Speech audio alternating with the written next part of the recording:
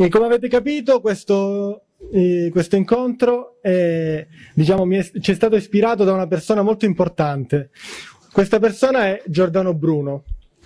E oggi non è, è, come sempre le date di Parole Guerriere non sono mai casuali, il 17 febbraio del 1600 e questa persona così brillante, così geniale, eh, è stata, bisogna fare i conti con la realtà, arsa viva, a pochi passi da qui tra l'altro, a Campo dei Fiori. Allora, eh, sicuramente Giordano Bruno non è l'unico martire, non è l'unico paladino della libertà di pensiero e del coraggio della parola. Però attraverso di lui vogliamo ricordare tutte quelle donne, tante donne e tanti uomini che sono stati fatti fuori dalla società per il loro coraggio, per le loro, paro- per le loro parole, quelle sì, eh, veramente guerriere. E oggi nell'età della tecnica che viviamo, usiamo modi più raffinati per farci fuori. Però questa esperienza di Giordano Bruno non è eh, da confinare a un mondo passato eh, che non esiste più. Ci facciamo fuori continuamente e la cosa incredibile è che siamo tutti sia carnefici che vittima di questo modus operandi. Per ovvie ragioni questo, questa sera questo incontro non sarà su Giordano Bruno e sul suo pensiero, che è molto complesso, ma eh, ci serve da scaturigine perché il, il, l'idea che vogliamo eh, mh, eh, esplorare è quello della, è quello della disobbedienza. Ora, eh, ho pensato molto a come ricordare Giordano Bruno, eh, magari avrò avuto un'idea banale, ma eh, ho pensato che eh, per paradosso il paladino della, del, dell'espressione, del coraggio della parola, doveva, doveva essere mh, ricordato con un momento di silenzio. Un momento di silenzio che verrà interrotto, se, se lo vorremmo creare tutti insieme, basterà una persona di voi a non volerlo creare e non, non ci sarà questo silenzio.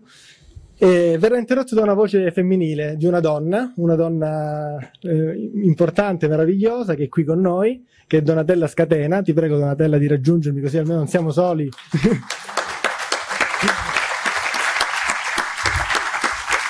Donatella è, è una, è una, donna, è, una, è, un architetto, è un professore, è un docente universitario, è, è una madre, tante cose. Eh, ha avuto la fortuna o il destino, direbbe qualcuno, dipende da come la si vede, di stare a fianco a una persona eh, altrettanto speciale e importante. Eh, una persona eh, che oggi vogliamo ricordare, una persona che ha fatto la storia della, uh, della, televisione italiana e non solo, ma lo ricordiamo oggi per, per una serie di sincronicità. Sì, vero? vero. Eh, lo ricordiamo oggi perché è stato soprattutto anche uno studioso profondo di Giordano Bruno e del suo pensiero, che sicuramente l'avrà illuminato. E questa persona che vogliamo ricordare eh, eh, oggi è, è questa persona qui, Gabriele Laporta.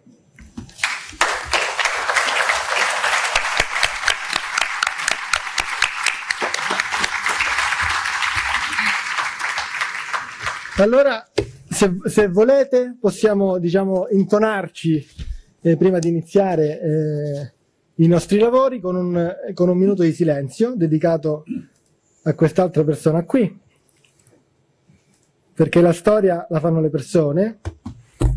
E quindi vi consiglio schiena dritta, piedi a terra, un bel respiro e vi faccio un invito, una provocazione. Non vi chiedo il coraggio di Giordano Bruno di affrontare il rogo, ma vi chiedo se volete di affrontare questo minuto di silenzio ad occhi chiusi per abbandonare il controllo sull'altro, perché tante volte il tagliarci fuori, il tagliare fuori l'altro fino ad arrivare ad ucciderlo, si basa su una, eh, su una questione, su, sulla paura, la paura dell'ascolto, dell'ascoltarsi, e, mh, mm, giusto?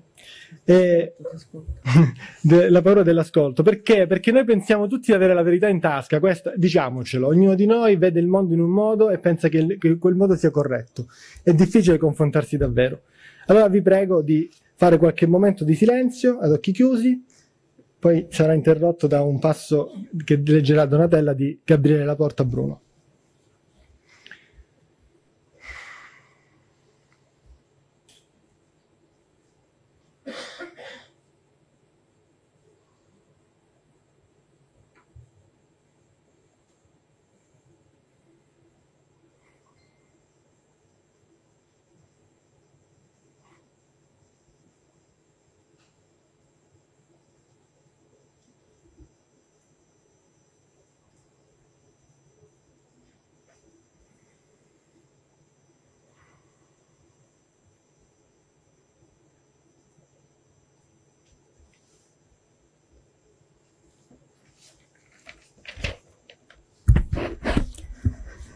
Nel pieno della notte stellata, Clemente lo trova sveglio.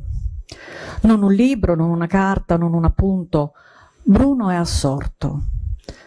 Non tornerete indietro, vero? Eh, mi è impossibile, vostra santità. Tutto tace nel grande palazzo, le guardie sono rimaste fuori, lontane, nessuno può udirli. Sapete perché sono venuto? Eh, posso immaginarlo e posso anche dire che sono indifferente, non perché sia disinteressato alla vostra persona. Di voi mi importa come di qualsiasi altra creatura, ma perché ormai faccio sempre più fatica ad articolare i suoni, a comunicare. Questo è il punto. Mi hanno riferito che quando siete stato sottoposto alle cure della ruota avevate la stessa lontananza che si presume appartenga ai saggi. Ero lontano. Come fate? Bruno è impietosito da quelle domande. Chi gli sta di fronte è lontano dalla saggezza come un naufrago in mezzo all'oceano che brama la terra. Nulla potrà per ora avvicinarlo all'approdo. Ma quella del Papa non è curiosità, è davvero voglia di sapere. Anche per questo è difficile per il filosofo comunicare. Lo stato in cui si trova non ha desideri, ombre, aspirazioni, è una dimensione pressoché pura, non spiegabile. Santità, guardate dentro di voi, vedrete che nel cuore, nel cuore del vostro io c'è uno spazio interiore. I saggi dei secoli passati lo definivano interiorità errante. Avevano ragione, è senza limite, senza aria, senza brasomosie, è lucido e lucente, è interiorità e basta, è separato, esso stesso per se stesso. Capisco. No, santità, no. Voi non potete capire ora. Forse lavorando giorno e notte senza entrare mai in contraddizione con voi stesso, sentirete che pulsa. Allora sarete, allora saprete. Il Papa è assorto. Allora Bruno continua, la coscienza del reale è assimilabile, diciamo così, con un atteggiamento interiore di distacco ispirato. Capisco senza capire e nello stesso tempo comprendo che per la Chiesa tutto questo è pericoloso. Per la Chiesa come forza temporale sì, per la Chiesa come entità spirituale, mi esprimo così per farvi capire, assolutamente no. In questo preciso momento un cielo di stelle si affaccia nella testa di Clemente. Non è una notte stellata, ma somiglia ad essa, è molto di più. È la parte intima dell'universo, intangibile, incorruttibile. Per un istante avverte una musica inespressa, poi erompe un tuono, una risata sardonica che sprigiona dalla parte più animale e grottesca dell'io del Papa. È troppo legato al mondo, alla sua funzione che ricopre sulla terra come capo della Chiesa di Roma, per poter continuare su questa vibrazione. Quindi la notte stellata sparisce. È tratto da Giordano Bruno, Vita, opere e opere di un pericoloso maestro del pensiero di Gabriele Laporta. Grazie.